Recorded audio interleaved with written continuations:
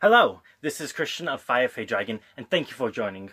Last video, we broke down some of the characters from Breath of the Wild and decided which devil fruits we think that each character had eaten. We focused on the four uh, champions, the the four champions that controlled the divine beasts before the various versions of uh, Ganondorf took over the divine beasts by killing them.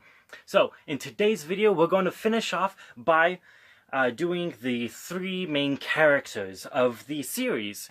Today, we are going to be breaking down the Breath of the Wild versions of Link, Zelda, and Ganon. I think it's just Ganon since he forsook his reincarnation. Spoiler warning, by the way, for uh, One Piece and Breath of the Wild. But we're going to be focusing on those three characters today and decide which devil fruits that they ate. Now, I also want to mention that I broke down some rules, I set up some rules in the previous video. I also described what Haki, devil fruits, and a few other things um, from One Piece are and what the series is.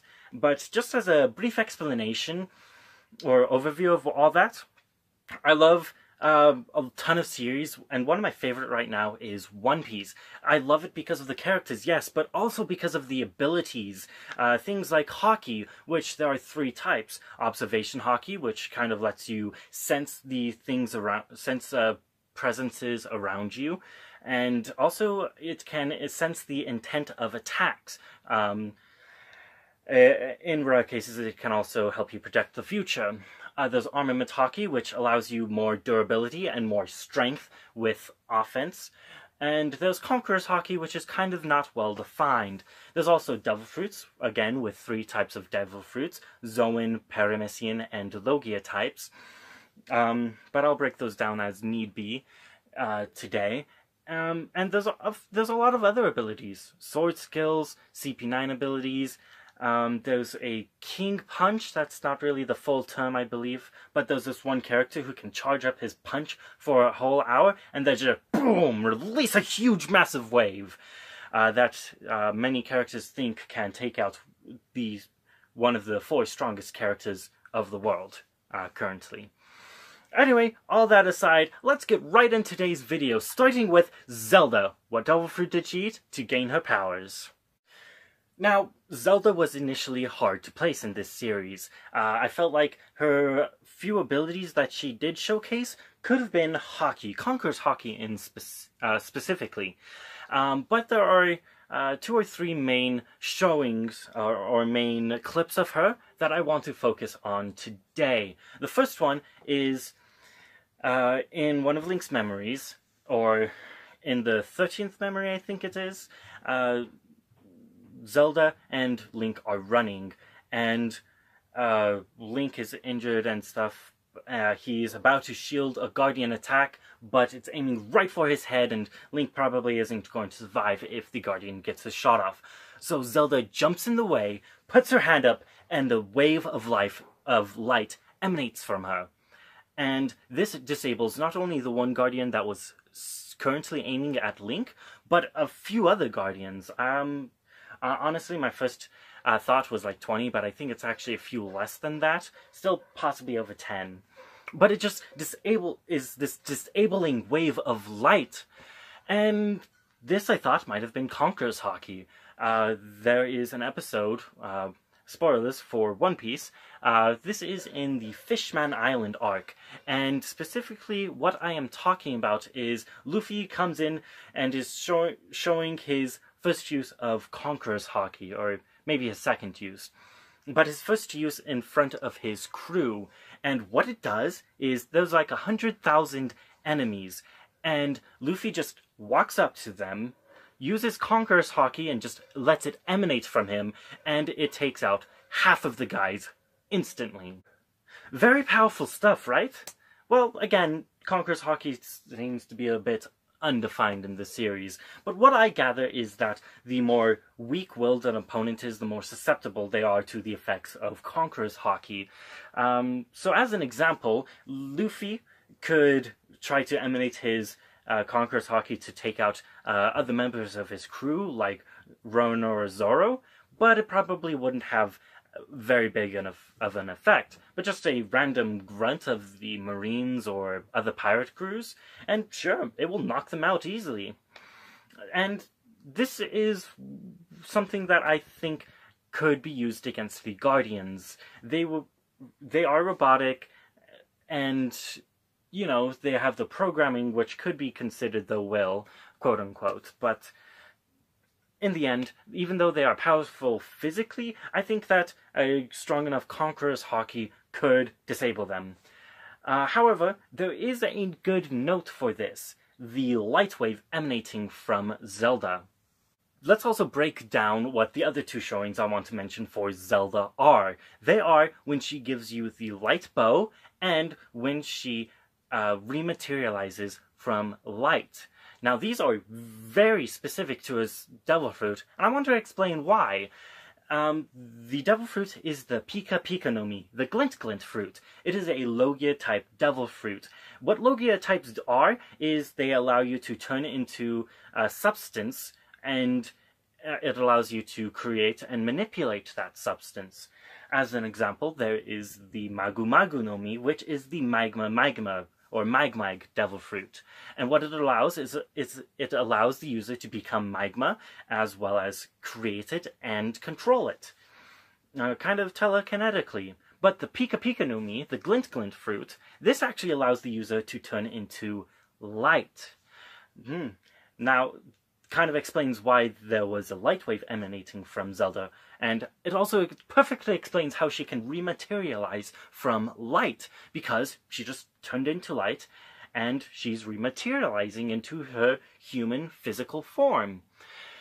Now, the light bow, actually also, uh, there is an ability showcased by the consumer of the Pika Pika no Mi, and the ability is to send beams of light. Now, the this isn't quite a one-to-one connection. Um, the beams of light actually explode at the end in the One Piece anime, whereas uh, the light arrow just shoots arrows, but it could just be nuance of the ability, uh, nuance nuance of how the ability is used. So overall, I think it's a pretty easy one-to-one connection that uh, Zelda has eaten the Pika Pika no Mi. Alright, and now on to one of my favorite characters of all time, Ganondorf. Still, love Link more, but Ganondorf gets my respect. Now, I I honestly wanted to give Ganondorf the Yami Yami no Mi. This is the Dark Dark fruit. It is a Logia type devil fruit um, that allows the user to become darkness. Now this is actually a Logia type, uh, a very special Logia type. Most Logia types, when you transform into the other substance, such as fire, magma, or um, sand, light, things like that, you are somewhat unphysical. I mean, you, you do have physical form and stuff, but when somebody, like, tries to punch you, it just punches through you instead. The Dark Dark fruit actually works a bit differently in that you actually still get physically hit. You feel the injury, but you're also kind of able to absorb it. Um, the Dark Dark fruit actually allows you to draw things into a dark dimension, quote unquote. And we actually, I actually feel like we don't see uh, Ganondorf showcase any or many abilities like that, drawing things in. But his powers do uh, do have this magically purple or dark or black aura around it. Uh, so it felt like a pretty good connection. However, I decided that there was another character that should get the Yami Yami no Mi, and instead decided to showcase one of the rare circumstances in this series where we are going to give a character a hypothetical devil fruit. Now, I did want to give the Yami Yami no Mi to Ganondorf. I felt like it would have been a good foil to give Zelda the Glint Glint fruit and give Ganondorf the Dark Dark fruit. Uh, but I am strictly giving it to another character just because they fit the Yami Yami uh, no much better. But instead, I decided to give Ganondorf a hypothetical Devil Fruit for a couple of reasons. One is I want to showcase you what it is like, and actually, Ganondorf I feel like would fit this one pretty well. And I chose to give him the Yama Yama no Mi model, a myth, uh, or uh, model Erymanthian boar. Now, this would be a mythical type Zoan devil fruit, and uh, the Erymanthian boar was actually from the fourth challenge of Hercules during his 12 trials. And I thought it was uh, kind of a fun connection, you know. Ganondorf would get this Zoan type, which uh, Zoan type devil fruits focus on transformations. Um, and Ganondorf has a transformation from his Gerudo form into the more boar-like Ganon form. Uh, I, I also uh, thought that it was a fun connection to give him the Erymanthian boar, mostly because it's a mythical, it would be a mythical type Zoan Devil Fruit, and I think Dan- Ganon is a character deserving of such a rare and powerful Devil Fruit, and I find that the Erymanthian boar was big and rampaged, and Ganon is big and rampages. I mean, he probably doesn't rampage to the extent that the Erymanthian boar does. Ganondorf has a sort of uh, gentleman, evil gentleman to him. Um, not exactly, but play Wind Waker. You'll kind of see what I'm getting at. Um, but yeah, Ganondorf, in the end, I thought he would have the Yami Yami no Mi, but his magic doesn't really draw things in, as far as I can tell. And uh, he has the transformations to a more boar-like form, as well as I believe any Gerudo can learn magic. Maybe not to the same extent that Ganondorf has, uh, because Ganondorf is actually the reincarnation of Demise, but that's a spiel I don't want to get into today. Anyway, so let's move on to who did eat the uh, eat the Yami Yami no Mi, and it is Fi. I brought up Fi, but to you people who uh, don't know, Fi is the spirit inhabiting the Master Sword, and to you who uh, don't think that Fi is in Breath of the Wild, it doesn't actually matter terribly much, uh, because uh, there actually was a way to feed inanimate objects devil fruits in One Piece, the One Piece series. So we have bazooka dogs, or a bazooka that ate the dog dog fruit, and a sword that ate an elephant elephant fruit. So it is entirely possible to have uh, the Master Sword have to have had the Master Sword eat the Yami Yami no Mi. And why I think that the Master Sword fits so well with the Yami Yami no Mi is that the Yami no Mi the devil fruit can draw things or people into or attacks you know it can draw things into its dark dimension. And the master sword is the sword that seals away the darkness. Maybe that's how it seals away the darkness by drawing it into uh, the dark dimension.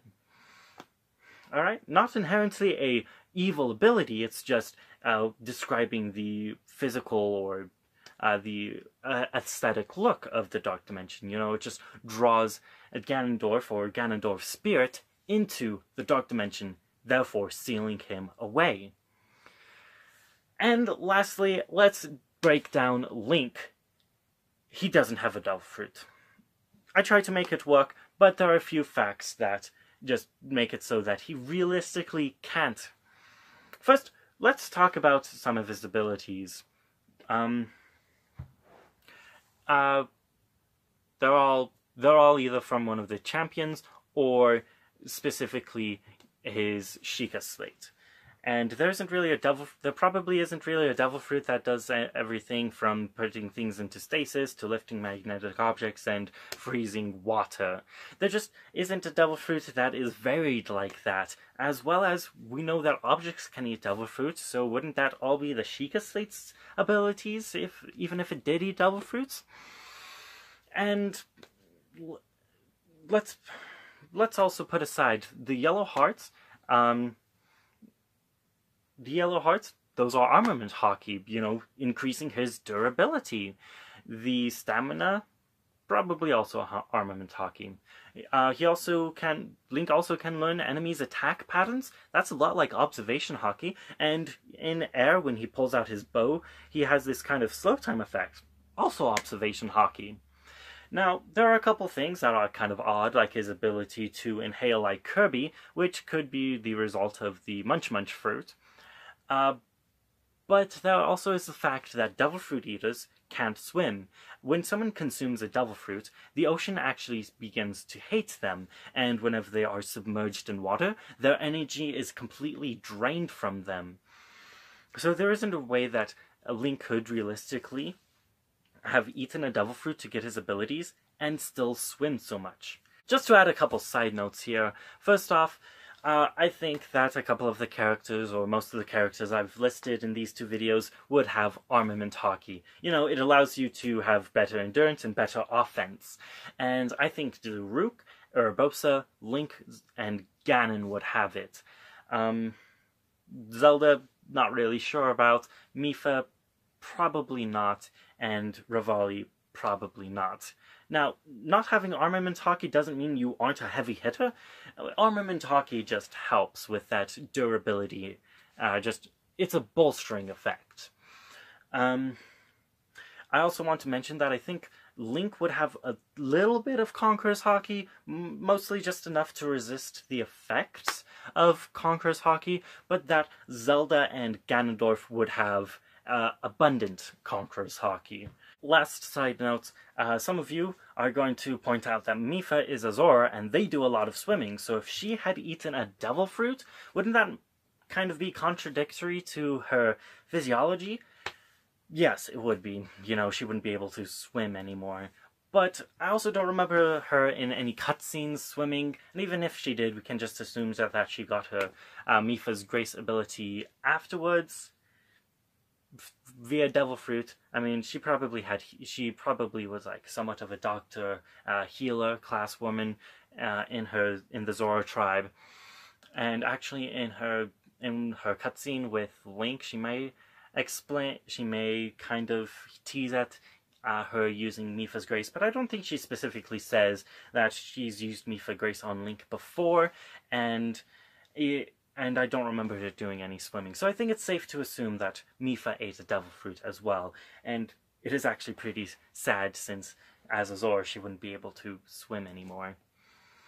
But anyway, guys, uh, go ahead and leave down in the comments what you think I got right, what you think I got wrong, and any other devil fruits that you think I should have mentioned in, in this list, uh, in these lists.